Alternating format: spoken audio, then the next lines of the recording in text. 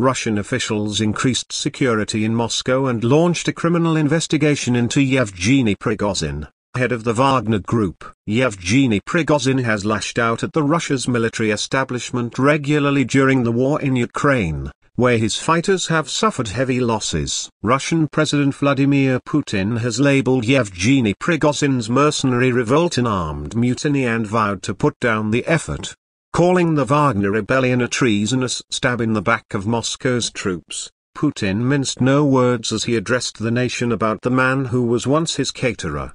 The Russian leader admitted the situation in the southern city of Rostov-on-Don was complicated but said that the state will defend itself and repel the effort. Russian President Vladimir Putin is now addressing the nation as the mercenary revolt gathers pace. Yevgeny Prigozhin said early Saturday that he and his fighters had effectively taken control of Rostov-on-Don, the southern Russian city where the headquarters for the war in Ukraine are based.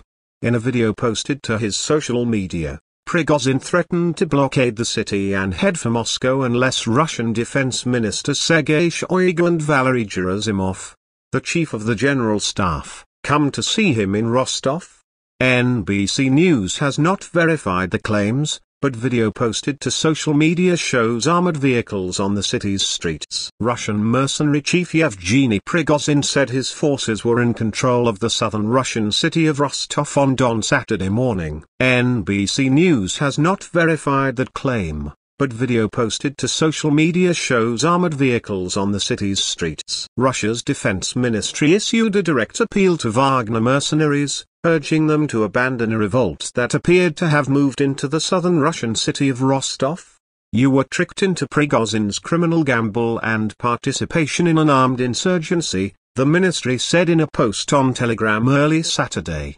We guarantee everyone's safety, it added. Russian President Vladimir Putin is scheduled to make a televised address to the nation soon, State-run media TASS reported. A Kremlin spokesperson had earlier said that Putin was being continually briefed of the situation around Wagner Group leader Yevgeny Prigozhin and that necessary measures are being taken. Prigozhin, the owner of the Wagner private military contractor who called for an armed rebellion aimed at ousting Russia's defense minister, confirmed in a video that he and his troops have reached Rostov-on-Don. The city is home to the Russian military headquarters that oversees the fighting in Ukraine.